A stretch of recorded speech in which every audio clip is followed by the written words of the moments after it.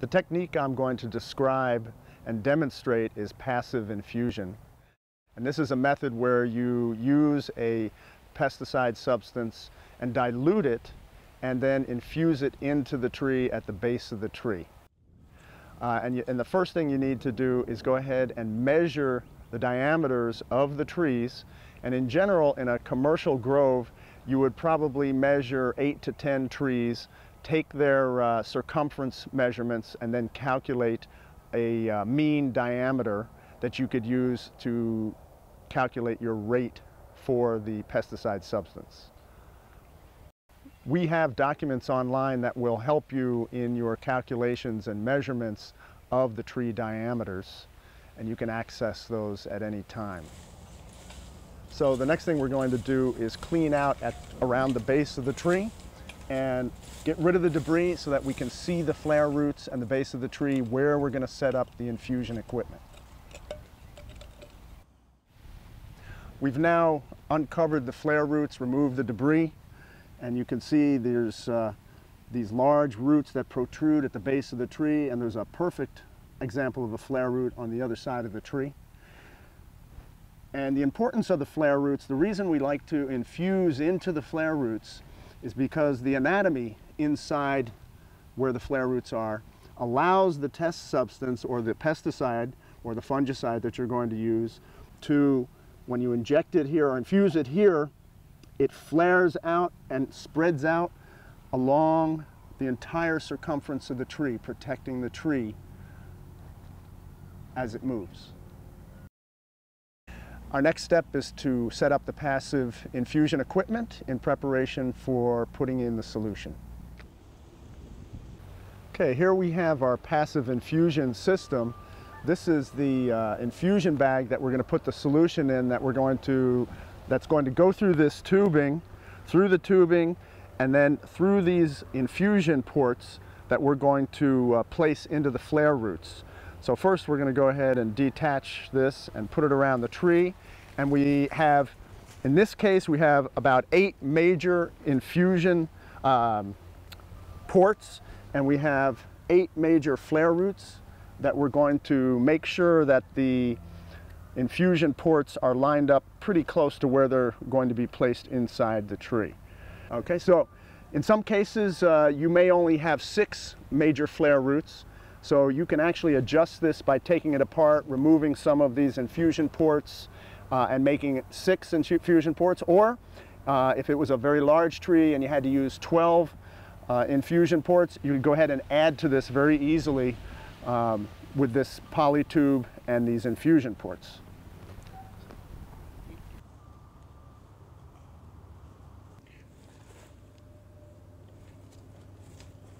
Okay, now we're ready to set the infusion ports into the flare roots and I'm going to drill these.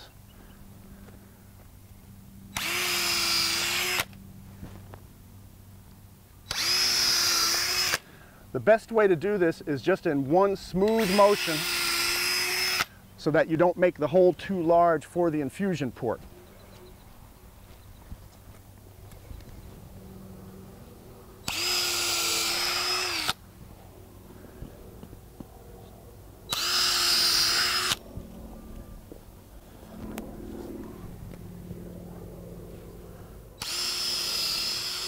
As I'm uh, drilling these holes, Armando is tapping in the infusion ports and he's using a mallet so he doesn't damage these plastic infusion ports. And he has to put them in snugly but not so tight or over tight that uh, it may cause damage to the port.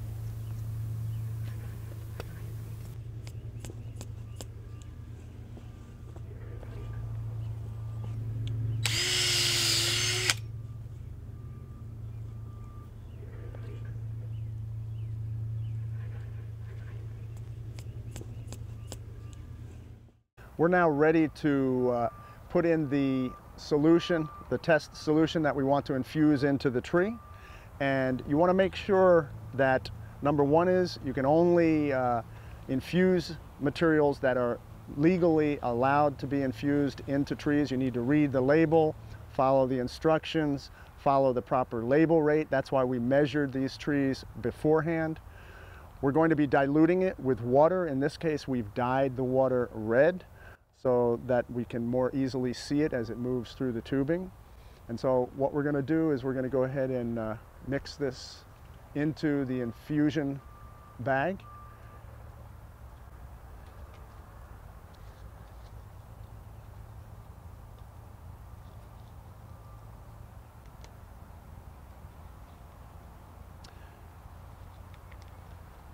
And you want to make sure that the infusion tubing is closed off.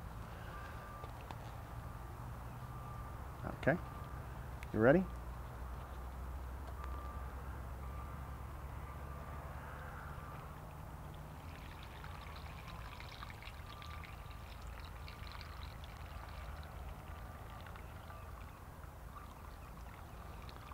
In this case, uh, for this dilution, we're using about 32 ounces of dyed water and then the proper amount of our test substance or the substance uh, we want to infuse.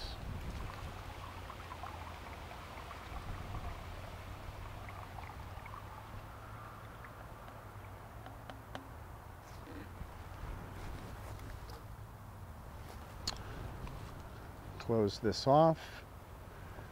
Make sure it's closed. You want to go ahead and mix it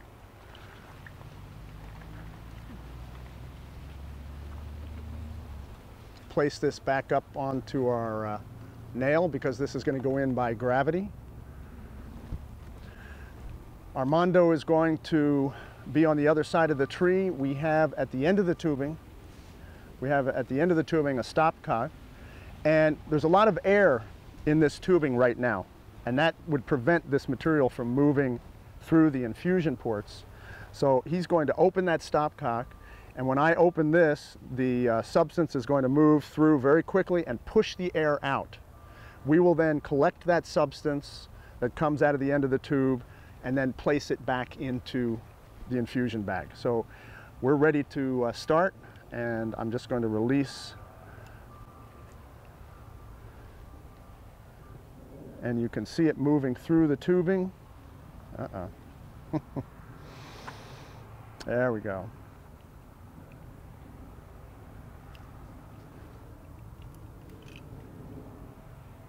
All the way? Okay. Now he's going to bring that over.